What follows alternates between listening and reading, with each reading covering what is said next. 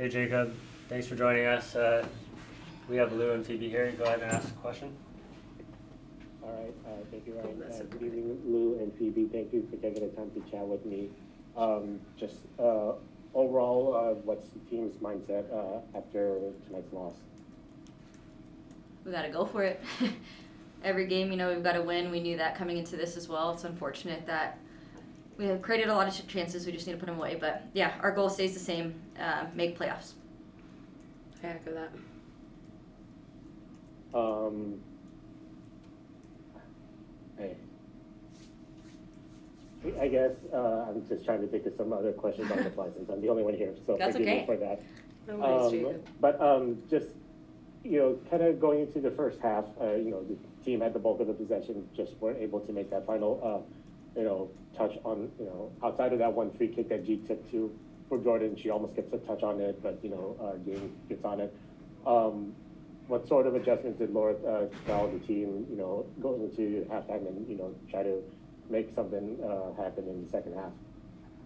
Yeah, I mean, I think I can speak for myself on this one. Um, just carrying the ball a little bit more, making them make a decision, um, which in turn opened up spaces and, and uh, areas that we found joy in. Um, I thought especially our outside backs really getting involved in the game in the second half um, helped us out, but obviously um, still didn't get that final product, so clearly have a little more learning to do. And then um, you two are obviously not uh, strangers to the environment in Houston, but just what was it like on the field with nine- 91 degree uh, temperature kickoff and then just the humidity? Like, did it did that weather kind of affect uh, anything in terms of like how the ball was moving for you guys?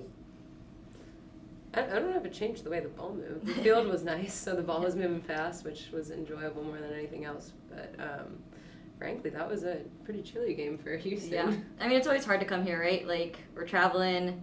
It's always going to be hot, regardless. Um, you know, we prep for these things, so I think we have a lot of resources, and we did really well with that um, to keep us all in the game. Um, and it's yeah, I wish we could climatize to, to this heat, but it's, we just can't in Seattle. So um, it ends up being a mental game and moving the ball like we've talked about. It's the one thing that doesn't get tired, so we needed to make sure that we continue to move them because it's awful for them as well.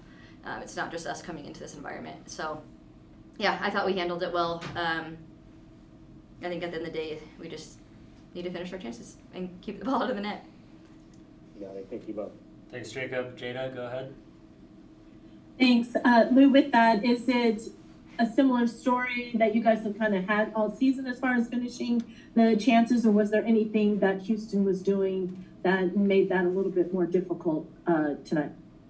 Yeah, I think Houston's just always been an unpredictable team, which is hard to play against. Um, but at the end of the day, they battled hard and they kept themselves in the game. So yeah, I think, you know, same story. Um, just those small little moments in the chaos, if we can kind of calm down and be able to put one away. I think if we put one away early, that game's different. Um, and yeah, they, they showed one ounce of quality, and that was a game changer.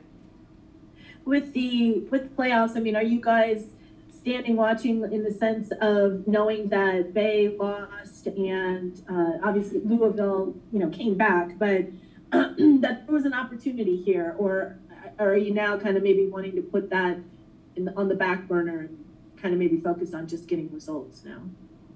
Exactly. We can't, and we need to learn from what we need to learn from in this game, but we can't keep dwelling on these past couple games. It's literally do or die now. Thanks, Jada. Any other questions? I have, I have one more. If you guys want to talk a little bit about um, having Jordyn back in the um, in the uh, lineup for you guys, there was a lot of uh, uh, uh, shots or trying to get her going. Uh, can you talk a little bit, I guess, about about that or what you guys were trying to do, as, at least with the attack? Yeah, I mean, I think Jordy's always going to be a really good attacking threat, whether it be in the air, on the ground, turning, taking people on one v one, whatever it is, and especially with the addition of Anna, I think they really play well off of each other.